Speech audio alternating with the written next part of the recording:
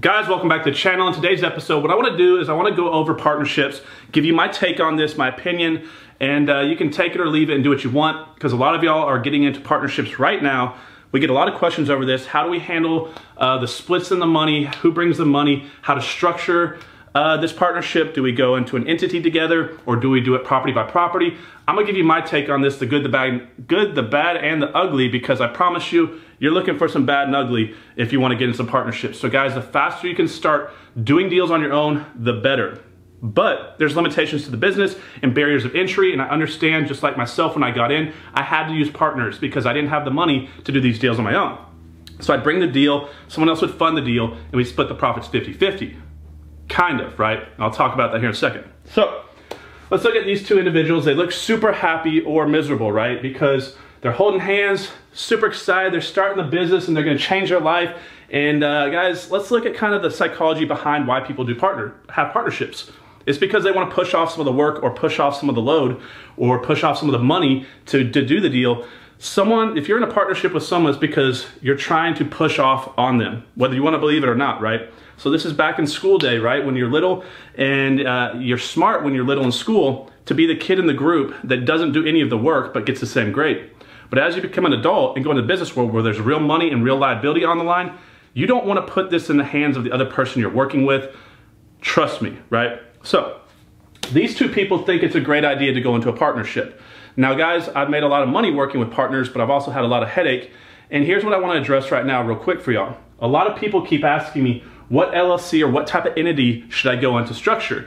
And I, I want to hold you down right now and stop you in your tracks and say, look, you do not want to go into a partnership as far as a partnership goes tied into a legality issue with uh, an entity, right? And I'm not giving you legal advice on this channel, guys, always, as you know, but you can do these same 50 houses with this exact same partnership, the same two investors, same cash in the deal, same property, same everything, but you do not have to do it and get into an actual partnership where you're in some type of LLC together or other corporate structure, right? Why not just do it one by one by one? Take each property individually, and each property is a different property, and you can partner on those same properties. You don't have to buy all 50 uh, houses together as one LLC or one entity. And here's why you want to avoid this, guys. Number one, longevity. This is a lifelong business, whether you realize it or not. A lot of y'all just sporadically just jumped in because of emotion. You hopped into this business and you're like, oh, I want to be a real estate investor or a real estate agent.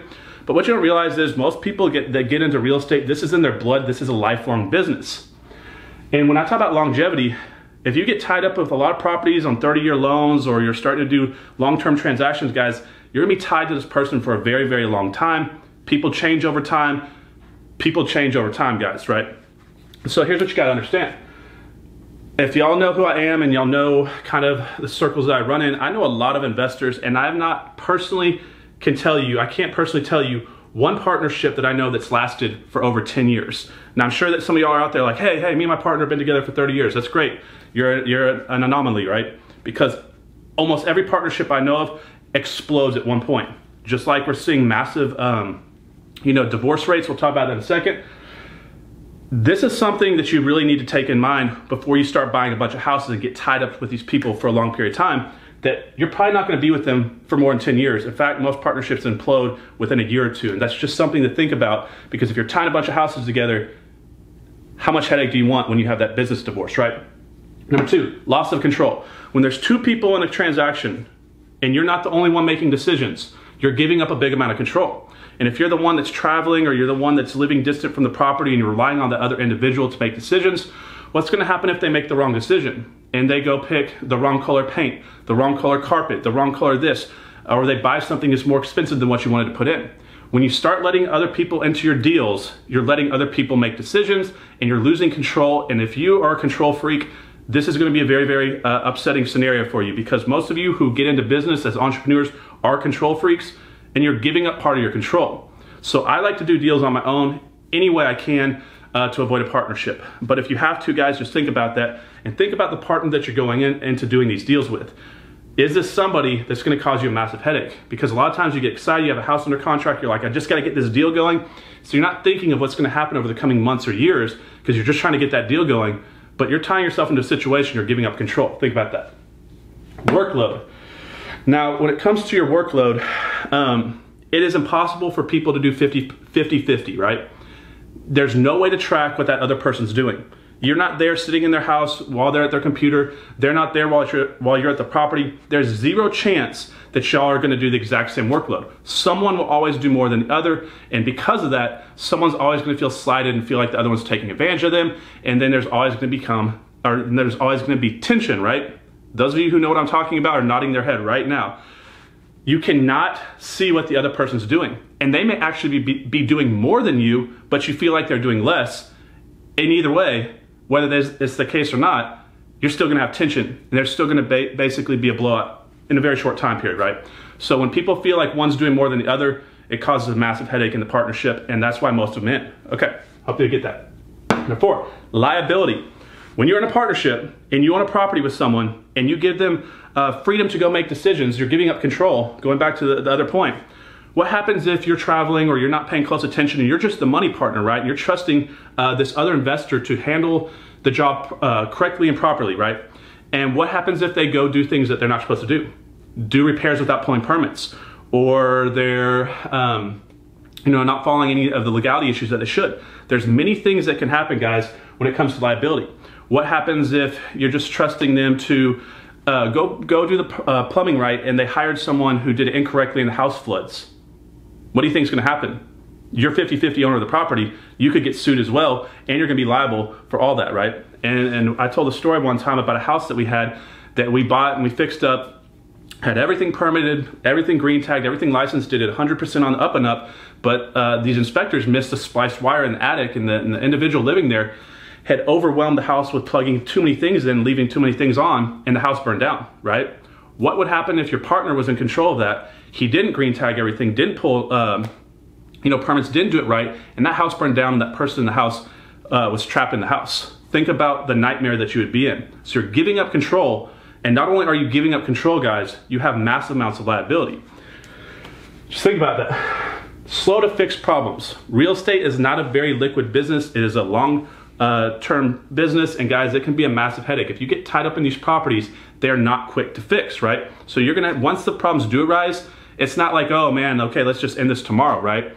It's gonna be a big headache. And that is why, because of slow to fix problems, I advise you to do it this way instead of this way, because at least if you're buying one property, one property, one property, one property, one property, and partnering on individual properties, you just can get out of them one by one, but you're not gonna do 50 all at once. So if a problem arises, you're not gonna have be tied to all these other properties with them, right?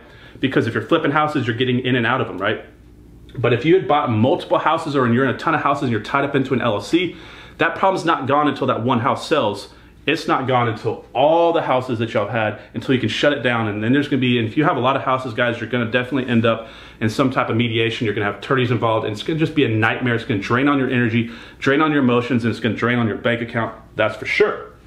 Guys because last one when you realize you're going to tie into a business entity together you are 50-50 owners of that company together and you're buying a bunch of houses this is just like a marriage right? You're tied together emotionally physically spiritually financially, anything and everything, you're gonna be tied together just um, almost exact same way as if you're married.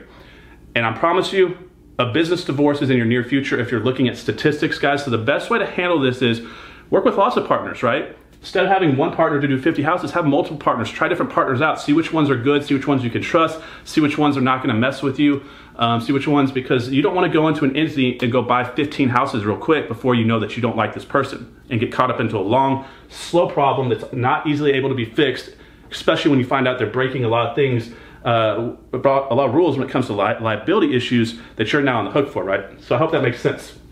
The last thing, guys, I want to point out just one more thing here that's very important that's cost me a ton of money over the years is when I started, I was bringing the deal to the table and was doing all the work, and I had a financing partner bring all the money to the table because I didn't have the money to get into hard money loan and I hadn't raised private money yet. And the money that I could raise, I had to give equity away through 50% equity deals, right? And so what happened was I let them control all the money. So every receipt, every dollar that went back into the account, every number that was tracked, they were controlling it. And when you give control to the money, the person that's in control of the money always wins if there's a if there's an error, if something's getting double counted. So what happened was I wasn't tracking the numbers. I, I just trusted these individuals and I did. I trusted them and I still think they're okay people. But people, whether they're shady or scumbags or criminals, or they're just incompetent, can mess up on the numbers. And when you start doing a lot of deals at once, guys, that happens very, very easily. And what happened was they started double counting numbers and, and, and adding numbers from certain properties and one property to this property. And there's all sorts of just miscalculations and, and uh, clerical errors. And what happened was I lost thousands and thousands of dollars because I wasn't on top of my game. I wasn't paying attention. I just thought they had it under control and I was paying double. So for example, let's say you had 20,000 actual repairs and you're the one where the money's coming back into your account. If you're the only one that owns the property, whether or not you're wrong on your calculations, it is net net the same to you no matter what, if that makes sense. So even if you're off on your numbers, the same exact dollar amount you have comes into your account as if you would have been off on your numbers or right on your numbers. I hope, I hope I made that clear a little bit. Now, if you have a partner in control of the numbers and you actually spent $20,000 in repairs, but they double counted things and, they miscalculated and they put up a number that says 23,000, when you go to sell the house, that profit that could have been say 20,000 is now going to reflect 17,000. So when the split happens, you're going to get 50% less of the clerical error. Does that make sense, guys? So if you're not the one controlling the numbers, you're always the one at risk. So if you are going to do partnerships, be the one in control of the money, be the one in control of the receipts, or you need to have a shared account where every single receipt goes in and you say, if this receipt is not in here and you cannot prove that you spent this money, I'm not taking your word for it. It does not get paid out. It never basically existed. So the person in control of the money has a lot more um, responsibility. So I hope that makes sense, guys. Don't get tied up into an entity. Just do a property by property basis because you have a quicker exit, less headaches, and you're not gonna be tied to these people for a very long time and you're not gonna have to get involved with attorneys and all the headaches that we normally see people that get into partnerships, guys. I hope you like today's video. Be safe. Vet these partners very closely, guys. Just because they seem like a nice person because you met them at an REI club does not mean they're a nice person and does not mean they have your best interest in heart. There's a lot of money at stake in this business and there's a lot of greed involved and there's a lot of uh, unfortunate things that can happen. I just want y'all to be safe out there, guys. I hope you liked today's video. Subscribe to the channel if you haven't already. I'll see you on the next one. Have a good day.